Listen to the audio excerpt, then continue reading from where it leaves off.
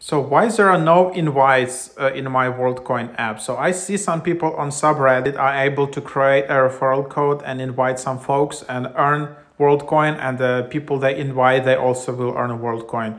But I just browse the whole my app and I don't see invite option. So what, where did it go? Uh, so uh, like people say that if you have the invite, it should be able to find it on the grants tab, grants claim flow settings page or world page. Like anywhere in the app, you should see this invite button. But what other thing like WorldCoin said that users were selected randomly to participate in invites. So it's just not available to everyone yet. Uh, and also the reward amount is also random for different for different users.